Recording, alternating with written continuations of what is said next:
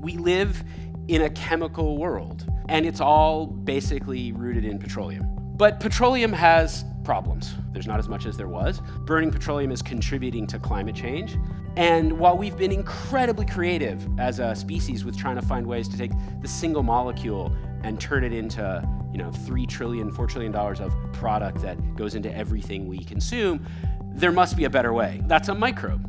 This microbe is the most perfect chemical factory in the world. This little single cell thing can consume a carbon source, glucose sugar, but also waste gas, and it can convert it into any one of the chemicals that that chemical plant turns it into. In fact, it can turn it into two to three times as many different chemicals.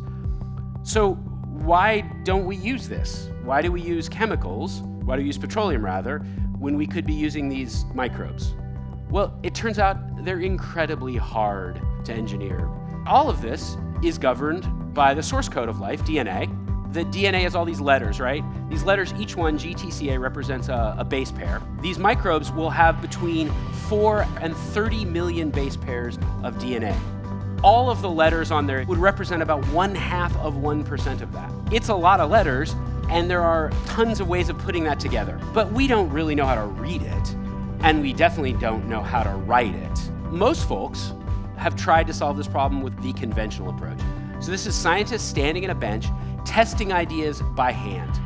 We've learned an enormous amount from this basic approach. But it has problems when you're trying to solve problems as complicated as how to take that DNA source code and cellular metabolism. At Zymergen, instead of having scientists testing ideas, we use robots and algorithms to basically test every idea. And so instead of trying to bring a very hypothesis driven approach to the world, we bring a data driven machine learning approach to the world. When you use automation, you don't make as many errors, you try more ideas, and that's how we can create products that are better than the ones we make with conventional chemistry.